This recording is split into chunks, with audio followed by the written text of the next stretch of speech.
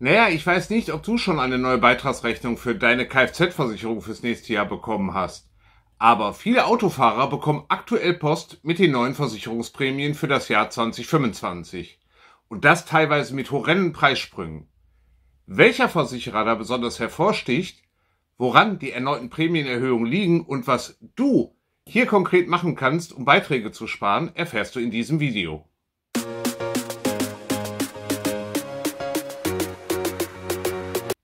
Bereits in diesem Jahr haben die Autoversicherer ja ihre Prämien spürbar erhöht. Doch was jetzt Focus Online berichtete, grenzt ja schon fast an Abzocke. Doch der Reihe nach. Michael C. aus dem Kreis Rosenheim traute seinen Augen nicht. Die HDI verlangte plötzlich 80 Prozent mehr an Beitrag. Und das scheint kein Einzelfall zu sein, wie Berichte über diese Versicherung zeigen. Michael C. fährt einen VW ab mit 170.000 Kilometern auf dem Tacho, mit einer Jahresfahrleistung von 15.000 Kilometern. Er ist Haftpflicht und Teilkasko versichert. Und in 2025 soll das Ganze nun 715 Euro im Jahr kosten. Ganz schön happig, gerade im Vergleich zum Wert des Autos.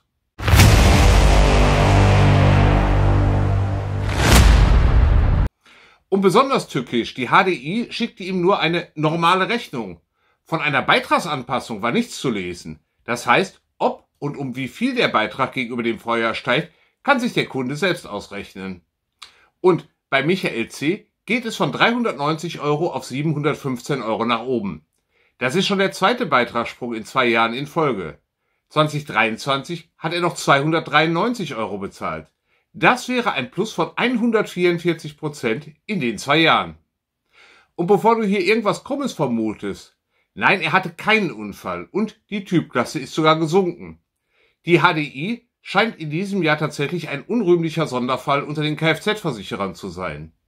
Wie das Magazin Versicherungsmonitor berichtete, habe die HDI bereits 2023 herbe Verluste in der Kfz-Versicherung eingefahren und versuchen nun quasi den Bestand zu sanieren.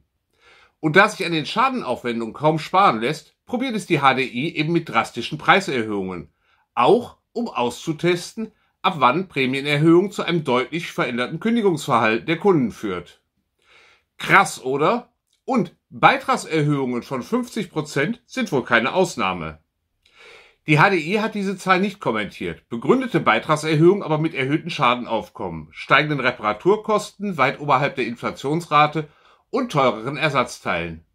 Naja, irgendwie lässt sich das auch nachvollziehen. Allein im ersten Halbjahr 2024 entstanden in Deutschland im Kfz-Bereich rund 400 Millionen Euro Schadenaufwendung durch Sturm und Hagel. Klar, dass sich die HDI gegen diese hohen Zahlen wehrt. So stellt ein Unternehmenssprecher klar, dass die HDI eben nicht im Schnitt um 50 Prozent erhöht. Bei den allermeisten Kunden würde die Steigerung im niedrigen, zweistelligen Prozentbereich liegen. Hier direkt meine erste Frage. Bist du bei der HDI versichert und hast deine neue Beitragsrechnung schon bekommen? Um wie viel Prozent ist denn dein Beitrag gestiegen? Schreib es mir doch bitte einfach unten in die Kommentare. Und wenn du woanders versichert bist, sind deine Beiträge auch schon angepasst worden. Doch wir wollen hier kein HDI-Bashing betreiben, denn auch Kunden von anderen Versicherern berichten über Erhöhungen von 30 bis 40 Prozent. Das Vergleichsportal Verivox berichtete, dass die Preise der Kfz-Versicherung im Marktschnitt aktuell 25 Prozent über dem Vorjahresniveau liegen. Allerdings buhlen die Versicherer weiter mit günstigen Angeboten um Neukunden. Das bedeutet, ein Wechsel kann sich durchaus lohnen. Denn, Zitat, günstige Tarife liegen derzeit im Marktschnitt 28 Prozent unter den Tarifen im mittleren Preissegment. Zitat Ende. Und das Ganze kommt von Verivox. Nun, worauf solltest du denn bei einem Versichererwechsel besonders achten? Klar, kannst du deinen Vertrag zum Ablauf meist zum 1. Januar innerhalb von Monatsfrist kündigen. Wenn du aber eine Beitragserhöhung bekommst, hast du auch ein Sonderkündigungsrecht. Auch hier beträgt die Frist vier Wochen nach Zugang der neuen Rechnung. Solltest du erst im Dezember von deinem Versicherer über eine Prämienerhöhung informiert werden, kannst du auch hier dein Sonderkündigungsrecht nutzen. Bei deinem neuen Vertrag solltest du auf folgende drei Punkte besonders achten. Erstens die Deckungssumme. Die Summe, die dein Haftpflichtversicherer im Schadenfall übernimmt, sollte nicht zu niedrig sein, denn alles, was im Schadenfall darüber hinausginge, müsstest du aus eigener Tasche übernehmen. Halte dich hier an der Höchstdeckung von 100 Millionen Euro. Zweitens, der Rabattschutz. Du weißt es, normalerweise steigt dein Versicherungsbeitrag nach einem Schaden. Mit dem Rabattschutz hast du in der Regel mindestens einen Freischuss. Allerdings nur bei deinem Versicherer. Hattest du nämlich in der Vergangenheit einen Schaden und wechselst den Versicherer, wird der dich vermutlich hochstufen. Und übrigens, selbst ohne Rabattschutz, besonders günstige Versicherer stufen in der Regel nach einem Schaden viel weiter hoch als andere. Und drittens, die sogenannte grobe Fahrlässigkeit. Bei einigen Policen verzichten die Versicherer darauf, auf grobe Fahrlässigkeit zu plädieren, etwa wenn du abgelenkt warst und deswegen einen Unfall verursacht hast. Trotzdem, Alkohol am Steuer oder grob fahrlässig herbeigeführter Diebstahl sind aber in der Regel trotzdem ausgeschlossen. Okay. Du bist aber treuer Kunde deiner Versicherung und willst partout nicht wechseln? Dann kannst du natürlich die Beitragserhöhung zähneknirschend hinnehmen oder kannst trotzdem prüfen, ob du nicht auch bei deinem alten Versicherer sparen kannst. Der einfachste und naheliegendste Weg ist es, mit deiner Versicherung über die Prämie zu verhandeln.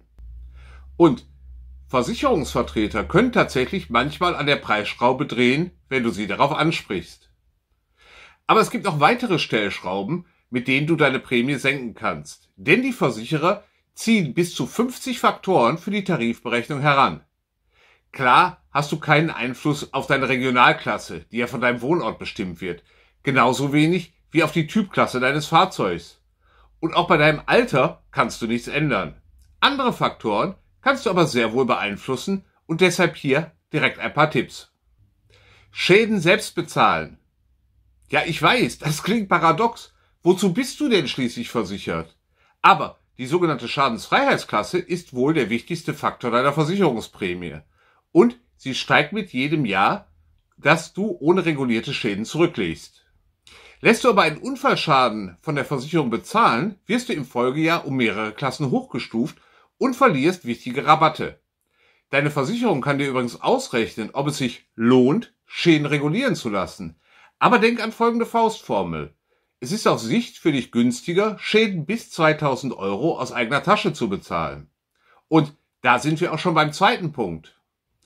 Und das wäre die Selbstbeteiligung. Denn durch die Selbstbeteiligung sinken die Versicherungsprämien teilweise enorm.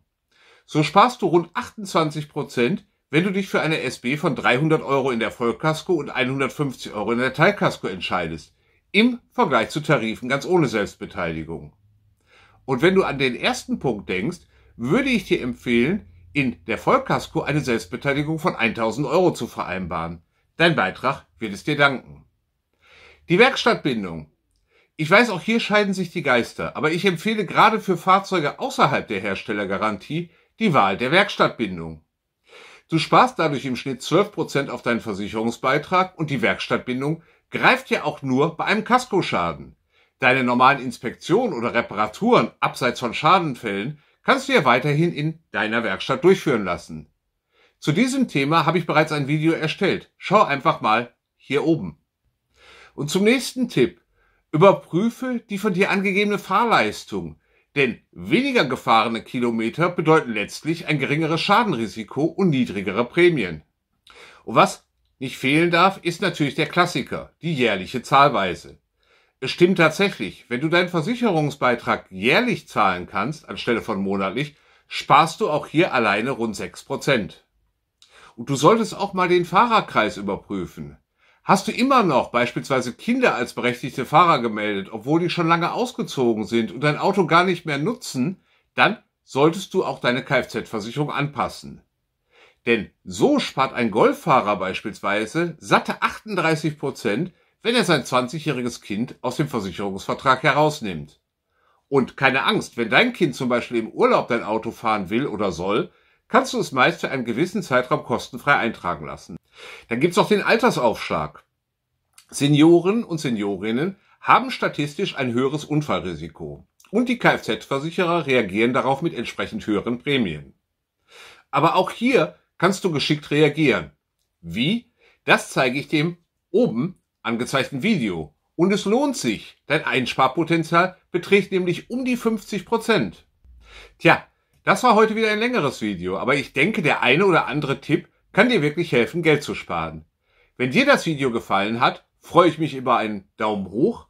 Bis zum nächsten Mal. Bleib positiv, bleib produktiv, bleib unfallfrei und vor allem bleib gesund. Dein Thomas Schneider.